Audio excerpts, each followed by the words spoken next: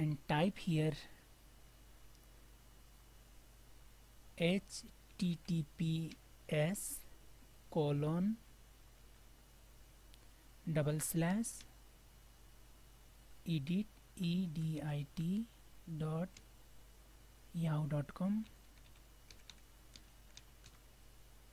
slash config c o n f i g slash delete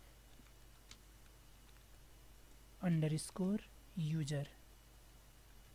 Then press enter. You can get this uh, link below of this video on the description.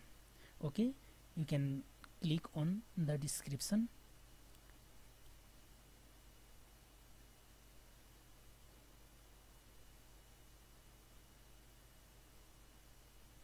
Now log into your account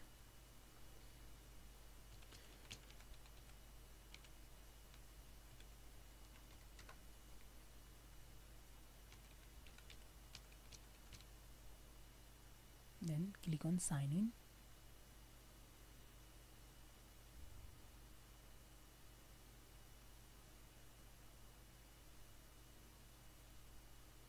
Scroll down the page.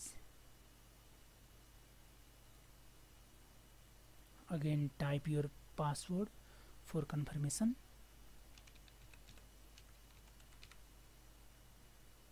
Then type above text here C jet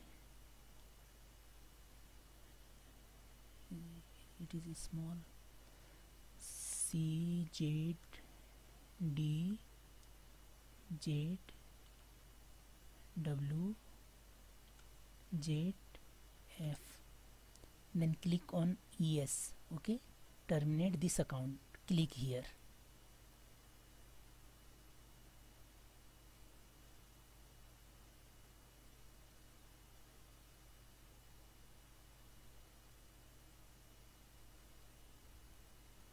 your account has been deactivated and scheduled for deletion okay?